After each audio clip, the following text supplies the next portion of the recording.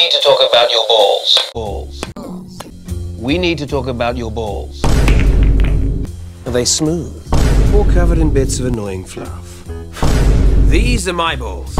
See how they glisten in the light? Your balls can be like these, but you gotta use the right tools for the job. This? No. This? No. This! Only if that's what you're into. Balls are delicate, sensitive, easy to damage. Someone's taken a chunk out of that one. That's why I use the Lawnmower 4.0. It's got skin-safe technology with a replaceable ceramic blade, you can trip with confidence. It's got an LED light, so you can always see what you're doing. Lights, please! And what's more, it's got a wireless charging system and it's waterproof. You can even drop it in your pint.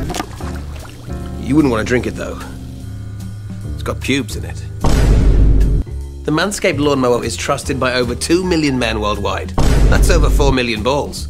It's time you join them and use the right tools for the job. Because when it comes to balls, you don't want to muck about.